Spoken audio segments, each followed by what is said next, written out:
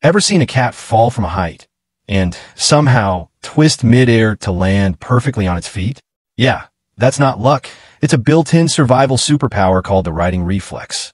Cats can start flipping themselves in the air in less than one second, even if they fall with their back facing the ground. Here's the genius part. They don't even need to push off anything. Cats have an ultra-flexible spine and no collarbone. So first, they rotate their head to face downward, then their front legs follow, and finally, the back half catches up. All this happens mid-air, like slow-motion gymnastics, only faster. But how they pull it off? It's called conservation of angular momentum, the same principle astronauts use to spin and flip in space.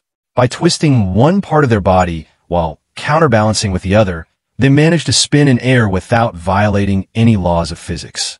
Yeah, your couch-loving cat just broke down Newton's laws better than your physics teacher ever did. But don't get too carried away. It doesn't always work. If the fall is too short, if the cat is overweight, or if they're caught by surprise, they can still land awkwardly. Still, in most cases, cats land like superheroes, head up, tail out, claws ready. So next time your cat dives off the top of the fridge or makes that wild jump from the windowsill, don't panic. You're witnessing one of the most genius natural reflexes in the animal kingdom. Crazy, right?